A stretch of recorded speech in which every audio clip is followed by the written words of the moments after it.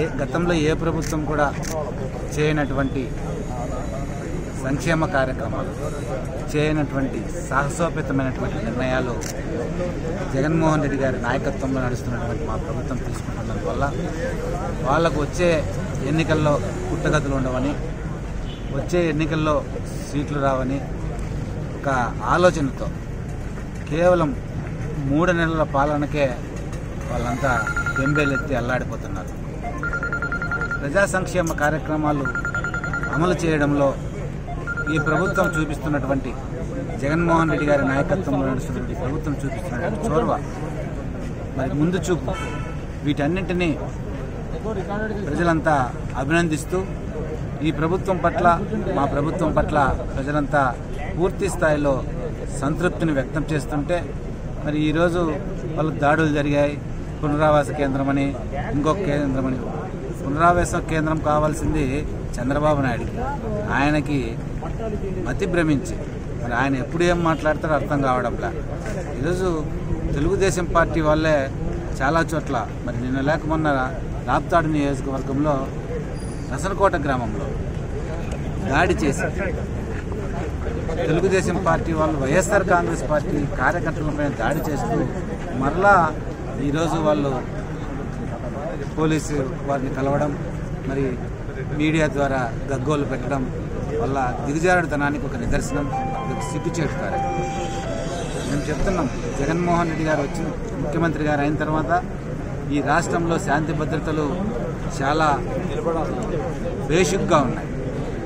ఎక్కడ కూడా ఎలాంటి అవాంఛనీయ సంఘటనలు జరగకోకుండా. మరి ప్రతి జిల్లాకు కూడా ఒక స్ట్రిక్ట్ ఆఫీసర్ నిష్పక్షపాతంగా వ్యవహరించే పోలీస్ అధికారులను నియమించడం జరిగిందనే విషయం అందరికీ తెలుసు.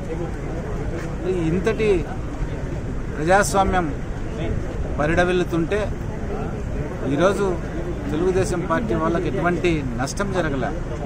ఈరోజు ఏ కార్యక్రమంలో తీసుకున్నా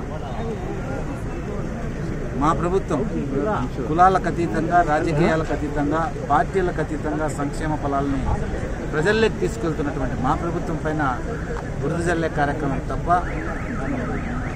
దేశంలో కానీ రాష్ట్రంలో కానీ మన జిల్లాలో కానీ శాంతి భద్ర శాంతి భద్రతలకు ఎటువంటి ఆటంకం కలగలేదు డోకా లేదు. వాళ్ళు కేవలం వాళ్ళ ఉనికి చాటుకునే దానికోసం. వాళ్ళ కార్యకర్తలు తెలుగుదేశం పార్టీ కార్యకర్తలు ఎవరైతే ఉన్నారో వాళ్ళంతా కూడా ఈరోజు వైఎస్ఆర్ కాంగ్రెస్ పార్టీ ప్రవేశపెడుతున్నటువంటి సంక్షేమ కార్యక్రమాల పట్ల మరి ఆకర్షితులై వైఎస్ఆర్ కాంగ్రెస్ పార్టీ వైపు వెళ్తున్నారనే ఒక బాధతో ఎలాగైనా జగన్మోహన్ రెడ్డి గారి పైన నిందలు వేయాలా? జగన్మోహన్ రెడ్డి గారి పాలనని కించపరచాలనే ఒక దురుద్దేశంతో చేస్తున్నారు తప్ప అనంతరం జిల్లాలో శాంతి భద్రతలకు ఎటువంటి డోకా లేదు ఇబ్బంది కలగలేదు.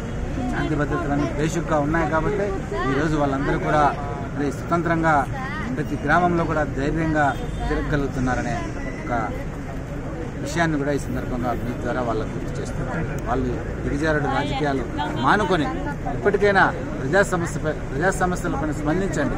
ప్రజా సమస్యలకు సంబంధించిన మరి సూచనలు సలహాలు ఉంటే మా ప్రభుత్వానికి ఇవ్వండి అని కూడా వాళ్ళని ఈ సందర్భంగా కోరుతాం